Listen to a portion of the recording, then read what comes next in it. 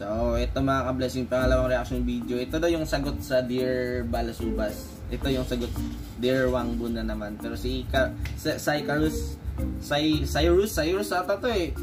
Cyrus to eh, no?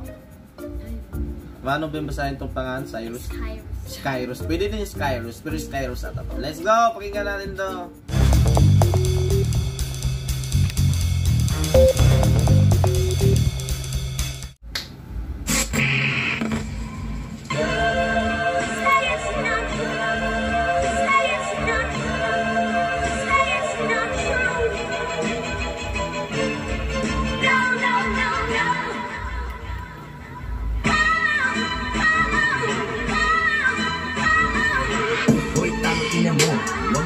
ka na dito mag-angaswang mo Ano naramdaman mo kapag ginagago Tapos ang nagago ay taga sa inyo Puro lang naman mali Tama ba tinatahi mo mga mga dapat na hindi Tapos pagkatahi tamang ang lahat ay mali Tangin ang pakit sa mga tira na manghina Tapos tema ay mali para ikaw magiging tama Paano laging nandiyan tangina So, mali pala sinasabi niya doon. Mali ang sina parang pinag sinabi dito ni Wangbu, mali ang sinasabi ni ay ang sinabi dito ni Kairos. Mali ang sinabi ni Wangbu. Yeah. Ah, naman. Ang yan, eh kayo nga kung nakikisalo sa ulan Pang sakalan yan, lang iyang yan Eh paano natatakot ka kasi malamangan Paano sabi niyang pag kadramahan mo natira Sige tira kung ako sa'yo magalit Ikitirahin ko sa puwet Tapos yung pamalaport Tara pormahan na sa kama At kasama ka sa langit With estilo malupit napapangitan ako doon sa lines na yun. ah. Yung parang sinasabi niya na, na natatakot kayong malamangan. Parang napapangitan ako sa lines niya dito, parang parang basta na lang may sagot siya dito eh. Parang it's, ah, two- it's ah, only two minutes. So. Parang ganun, gu- guys, ganun ang nafe-feel ko ah. Pero mm, okay din yung ra- rap style niya talaga. Idol ko yung rap style niya dito ah. Ah, alam naman, alam ko na, ay, sinabi ko naman talaga na yung rap style niya ibang klase doon pa lang sa, ano yun? Ano yung nireakan natin kahapon? Yung, yung kat ni, oh, kanta ni Skyros, yung, ah, bigat ng sumpa. Mm, yun. Magaling siya dun. Lalo na yung transition niya sa pagpunta niya sa, ano, sa alter ego, napaka-smooth. Pero dito, yung lyrics niya dito, parang, para sa akin to ah. Parang, basta na lang meron siyang masabi, ganun.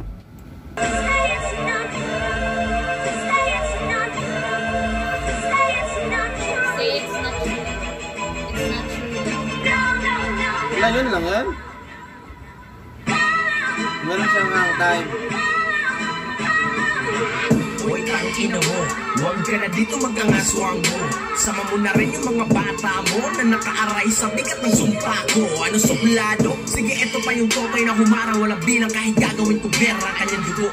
Pero wag na kasi diretso na to sa napakabobo at bobo ng guro uh, I'm gonna fuck ya stupid brain. Motherfucker, motherfucker, sana naman lang fantasya Para naman maganda ka, maganda ka yan eh. Sana may sumapa, paalala ko lang sana At saka wang book na pangalan ay sapat na Huwag na yung diss kasi mahina ka naman Puro lang naman yan, kaya bakit ka babawan na kung pilatya mo uli ka na lang Bisaya. Bisaya pala to si Kairos.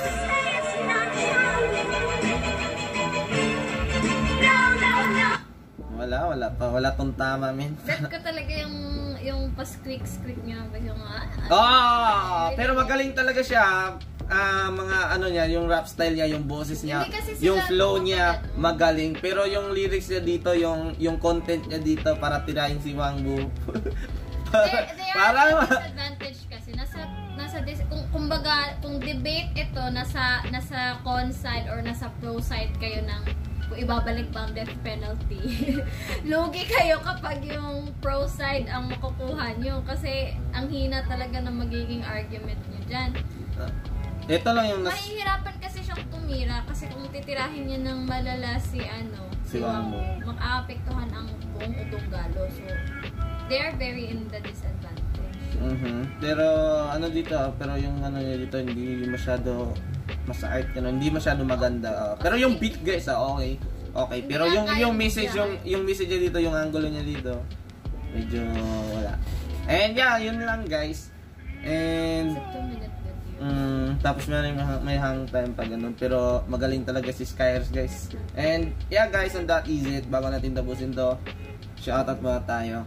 Shout out to Alexis Sazon, Frederick Balidoy, Benel De Cosa, RB1, Carlo Del Rosario, Ben Ginger and Humamoy, Riza Espanyol, Lian Mark TikTok, and Ferdinand Bristol. And that is it guys. Sana nagustuhan nyo. Kung nagustuhan nyo, like the video. Kung hindi, dislike na lang. And comment down below kung ano masabi nyo sa reaction video namin. And guys, request kayo at isulat nyo dun sa baba bakit yan yan ang gusto nyo ipapa-react. And bye guys!